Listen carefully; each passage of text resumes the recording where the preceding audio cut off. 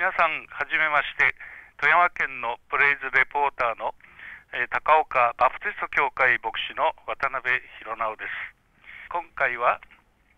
11月23日に行われました第14回富山ゴスペルフェスティバルについてのレポートを送りたいと思います。これは11月23日祝日で午後1時半から4時半まで会場は富山市府中ふれあい館で、行われました。対象は、どなたでもよろしいんですけれども、まあ、青少年それから一般の方ということが対象で、ございます、今回の恵みといたしましてこの富山ゴスペルフェスティバルは、14回ということで、主の年2000年の年に何か富山でもできることはないかということで、え出発いたしまして、最初は1年のつもりで、1回限りのつもりで行いました。けれども、毎年毎年、え、来年もやりましょう、来年もやりましょうという、ま、形で、14回まで、え、来ることができた。まさしく、この盛り上がりの中で継続されている、そういう富山県の一つの独特の集会かと思います。まあ、どんな恵みがこのフェスティバルを通して与えられたか、中にはあの1年に1度しか会わないそういう兄弟姉妹たちも教職の先生方もたくさんございます。そうしたことを通して1年に一度でも皆さんで富山県のクリスチャンの方々また一部は石川県からも集っておりますので顔を合わせて共に賛美するということの中で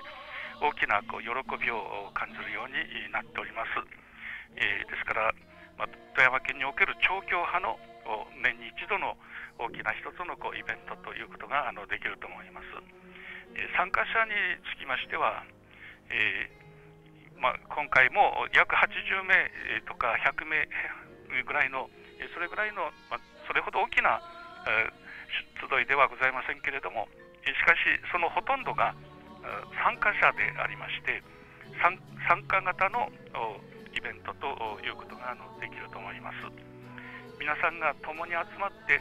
各教会で、えー、練習したり持ち寄っているものをそれをこう発表するという場にもなっております。ですからそれぞれのこうグループの中で毎年毎年少しずつ賛美のこうレベルアップがなされているということもそれも北陸におけるとても大きな恵みかなというふうに思っております。またこれは未信者の方ももちろん連れてくることのできる集会でありますし伝道と交わりのために北陸ならではのそのような、まあ特別のこう集会ということがあのできると思います。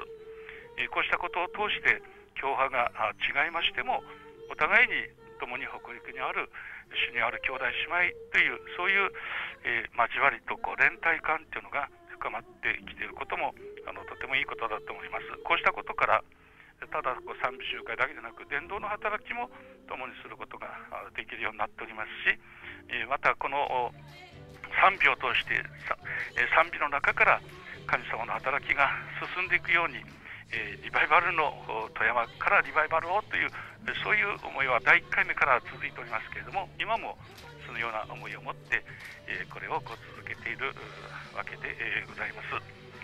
えー、富山ならではの、まあ、小まあ、小さな集会かもしれませんがこれがあの続けられているということの中に私たちもその、えー、大きなこう神様の恵みを覚えておりますし、参加チームは約10チームくらいなんですけれどもその10チームもまたそれぞれ毎年毎年衣装を変えたりまた曲を変えたりしながらこのフェスティバルを目指してそれぞれのグループが努力努力してこう変えられているというそういう恵みもこの中で出ております。まあ、これからえまた来年もまたそれに向かってえー、こう練習を始めていくところとか、えー、いろいろなことがありますけれども多少入れ替わりがありますが基本的なところはほとんどがこう継続しているという、えー、そういう、えー、執行集会となっております。このこれからの一つの課題としてはもっとたくさんの方々が演するようにそしてまたもっと多くの方々がこれに加わって、まあ、聞くだけの方ももっと増えて伝道の働きにも用いられればとそのように思っております以上富山県から高岡バプテスト教会の渡辺弘直がレポートいたしました。